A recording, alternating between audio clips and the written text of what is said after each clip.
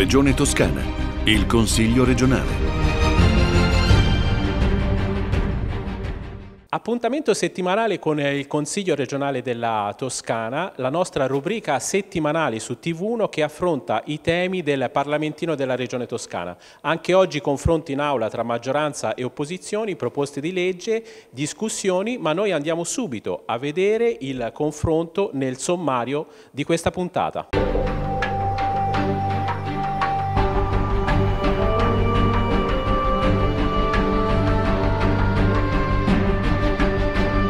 Tra i temi affrontati in Consiglio regionale nella seduta di inizio gennaio si è parlato di costa e di porti. In particolare c'è stata l'approvazione del bilancio dell'autorità portuale 2023 e un aspro confronto in aula tra la maggioranza e l'opposizione. Si è parlato anche della problematica soprattutto del porto di Viareggio con le problematiche legate alle assunzioni e anche al eh, diciamo, le difficoltà che hanno i pescatori. Il Consiglio regionale, la Regione Toscana prevedeva un sabbiadotto che non è stato realizzato, ma noi eh, ascoltiamo per tutti i dettagli le interviste con i consiglieri regionali per affrontare questo tema delicato della costa. Il bilancio dell'autorità portuale bilancio preventivo 2023 giunge all'attenzione dell'Aula all'inizio del 2024. Credo che basti questo, e lo ha detto anche la Presidente della Quarta Commissione nell'esporre l'atto, per capire quale motivazione sta alla base del voto contrario della Lega. È inaccettabile un quadro di questo genere, ma l'occasione è stata importante per aprire un ragionamento su quello che sta succedendo a Viareggio nell'immediatezza dei fatti. Il Presidente Gianni è venuto a Viareggio, ma probabilmente è stato un po' frettoloso nel dare alcune valutazioni positive,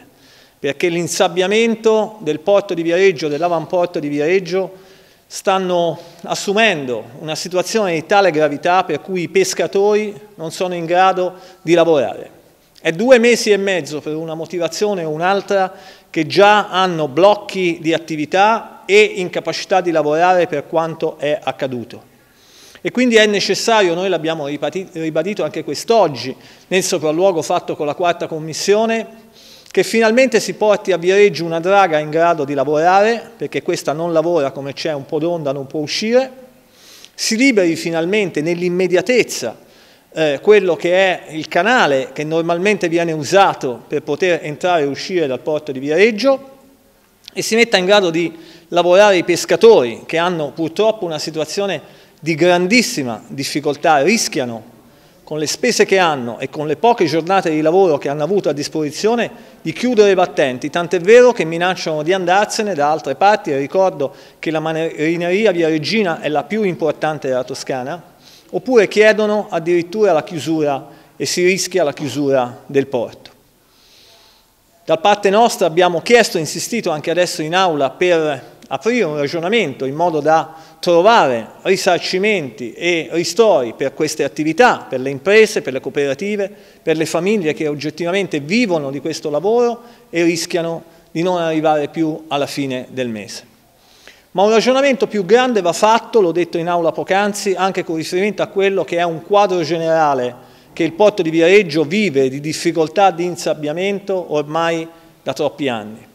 Il sabbiodotto è ancora in ritardo e discutendone in commissione quarta insieme al commissario dell'autorità portuale si parla di fine 2025 inizio del 2026. Comune di Viareggio e Regione Toscana che dovrebbero dialogare su un tema così delicato in realtà litigano per le poltrone, tant'è vero che non abbiamo ancora un segretario dell'autorità portuale, c'è solo un commissario, perché non si mettono d'accordo fra Regione Toscana e Comune di Viareggio, e questo è ormai da anni che è così, non si mettano d'accordo sul regolamento portuale, che anche quello è un passaggio importante perché a Viareggio il porto entra dentro la città, regola tutta una serie di elementi di vita della comunità portuale e anche qui siamo indietro sulle risposte. Il nostro voto è stato contrario perché eh, per due motivi, di merito, perché non condividiamo molte scelte e molti ritardi che ha accumulato l'autorità, ma anche di metodo, perché eh, portare un bilancio preventivo 2023 quando siamo già nel 2024 segnala che in questa regione c'è un vizio patologico, cioè l'impossibilità per i consiglieri di analizzare davvero e di indirizzare davvero i bilanci degli enti. E questo forse è anche causa della situazione incredibile del porto di Viareggio, per il quale all'interno del piano degli investimenti dell'autorità portuale era previsto già da anni la realizzazione del sabbiodotto che in realtà non è stato realizzato, c'è stato un braccio di ferro lungo mesi e mesi fra la regione e il comune di Viareggio, la sostanza è che il sabbiodotto non c'è, i pescherecci si incagliano e i pescatori non possono esercitare le loro attività economiche, oltre che costituire un danno di immagine e di funzionalità eh, assolutamente grave per tutte le altre attività. Per questo come Fratelli Italia abbiamo annunciato di presentare un atto di indirizzo per risarcire eh, i pescatori e tutti coloro che hanno ricevuto un danno da questa evidente mancanza mancanza eh, da parte dell'autorità portuale e eh, diciamo di mamma regione perché non hanno eh, in questi anni garantito ciò che si erano impegnati a fare, cioè un sabbiodotto degno di questo nome che garantisca al porto di Viareggio di poter funzionare e di poter in qualche modo fare economia per la Toscana. È stata chiaramente in una situazione molto difficile che noi abbiamo molto a cuore e sulla quale insomma ieri mattina abbiamo anche dimostrato credo in maniera molto concreta e fattiva l'interesse della Regione per il porto di Vereggio ma soprattutto per la situazione difficile in cui si vengono a trovare i pescatori che non abbiamo assolutamente intenzione di abbandonare. Anzi stiamo valutando con l'autorità portuale insieme al comune eh, insieme anche a loro che abbiamo coinvolto al tavolo tecnico perché credo sia anche giusto che poi chi sta su, non, non, sul campo in questo caso ma eh, direttamente insomma vive il mare tutti i giorni debba, debba essere anche ascoltato e considerato. E questo credo sia un traguardo molto importante. Continueremo a lavorare, monitorare il tema della draga perché il tema dell'insabbiamento c'è eh, con finanziamenti anche cospicui, c'è un impegno della regione importante sul, um, sull'insabbiamento, quindi ecco io credo che stiamo andando in una direzione in cui ecco, il porto tornerà ad essere un porto centrale perché poi Viareggio è effettivamente una piazza nazionale, è un porto nazionale con un'importanza anche internazionale e quindi da parte nostra c'è la massima attenzione sul monitoraggio dell'attività dell portuale, stare vicino ai pescatori e provare a rilanciarlo tutti insieme.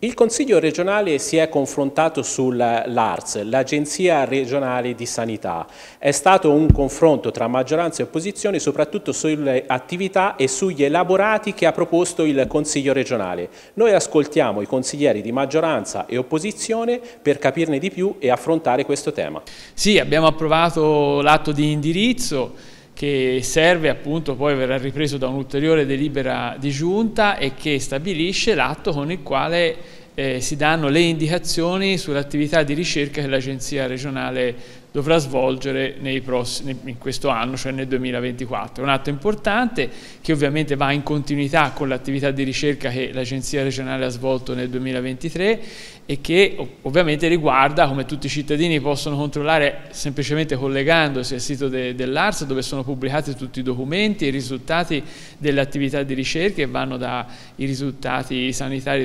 nostre, dei nostri ospedali alle ricerche epidemiologiche, a un lavoro importante che tanti cittadini hanno conosciuto anche durante il Covid. Per noi l'Agenzia regionale di sanità è un punto di riferimento fondamentale perché tutte le decisioni politiche anche fuori dalla sanità, ma sicuramente in ambito sociosanitario, si devono basare su dati importanti, strutturati, ben calzati e calati sul territorio della, della nostra regione, quindi il lavoro dell'Agenzia è assolutamente fondamentale.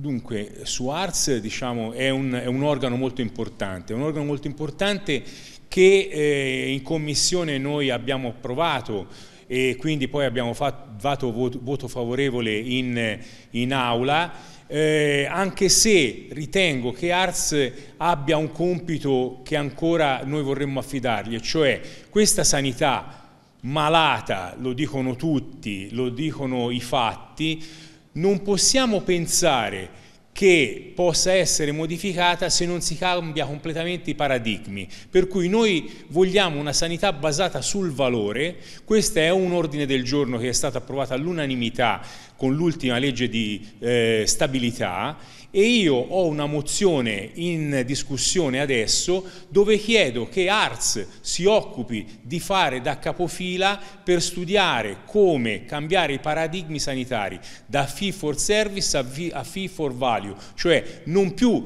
la medicina basata sulle prestazioni ma la medicina basata sugli esiti della cura.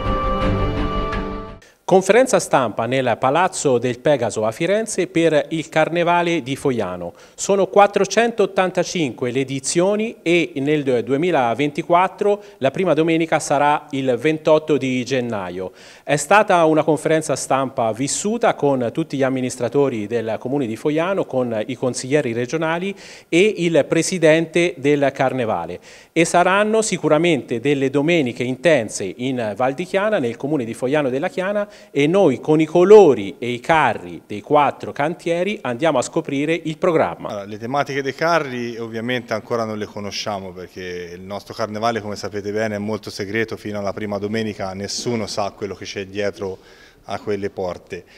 Per quanto riguarda noi quest'anno abbiamo deciso di riportare eh, diciamo, in piazza la Zinfa Rosa che sarebbe stata la moglie di Reggio Condo che era stata un po' accantonata come progetto negli ultimi anni, cioè si parla che l'ultima uscita mi sembra si parla del 79 e quest'anno insomma anche per dare risonanza appunto a, a tanti temi che sono delicati, soprattutto per quanto riguarda l'ambito femminile, abbiamo deciso di riportare anche nel nostro manifesto storico la figura della Zinfa Rosa. Ma più che novità sono, si, si, si riparte con tanta voglia e tante motivazioni. Quindi noi abbiamo i quattro cantieri del Carnevale che volontariamente costruiscono questi giganti in cartapesta e la novità è quella della prima domenica del 28 dove i cittadini foianesi e non solo vorranno ammirare queste, questa meraviglia. Quindi è un grazie a tutti i quattro cantieri che voglio nominare, che sono Azzurri, Bombolo, Rustici e Nottamboli, e al Comitato del Carnevale che ci permette insieme al Comune di organizzare una manifestazione unica, l'unico carnevale che sfila nel centro storico, quindi un unicum assoluto, oltre a quello di essere alla 485esima edizione come carnevale più antico d'Italia lavorano tanto tempo e soprattutto lavorano in una realtà che ha ormai consolidata nel Paese l'amore per questa manifestazione. Sono quattro eh, i cantieri, sono oltre eh, 50 le persone che lavorano proprio fisicamente, però sono centinaia le persone che poi partecipano per il proprio cantiere. Quindi insomma tenendo conto che è un paese, eh, una città di pochi più di 9.000 abitanti, avere più di mille persone che si interessano a questa manifestazione significa aver radicato eh, questo eh, in questo territorio. Le edizioni sono centinaia, noi ne abbiamo vissute molte, la Regione ospita ehm, da oltre, dal 2019 la presentazione di questa manifestazione in Consiglio regionale proprio eh, perché crede che valorizzare le manifestazioni significa far conoscere il territorio il modo con cui eh, attraverso il sorriso, la spensieratezza si prova a ripartire, però oltre ad essere un momento di festa, un momento di gioia, si mandano anche messaggi molto importanti, molto forti. Eh, condivido molto la scelta degli organizzatori di fare, eh, di lavorare intorno ai carri allegorici per mandare un messaggio contro le violenze sulle, sulle donne. Davvero un momento triste quello quello che stiamo vivendo nel nostro paese. Tante sono le violenze, troppe, se soltanto una donna eh, partecipando al carnevale riesce ad avere la forza di denunciare, credo che oltre a far divertire questo carnevale manda un messaggio sociale molto forte. Grazie a tutti gli organizzatori, grazie a tutti i volontari, senza di voi, senza di loro tutto questo non sarebbe possibile.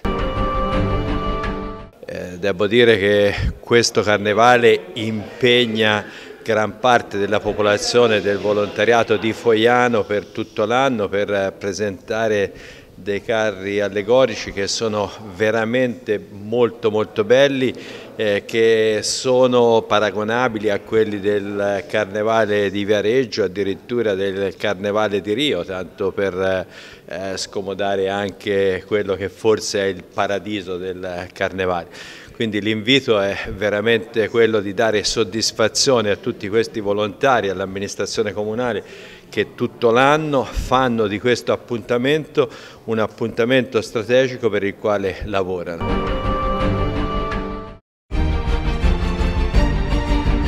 Regione Toscana, il Consiglio regionale.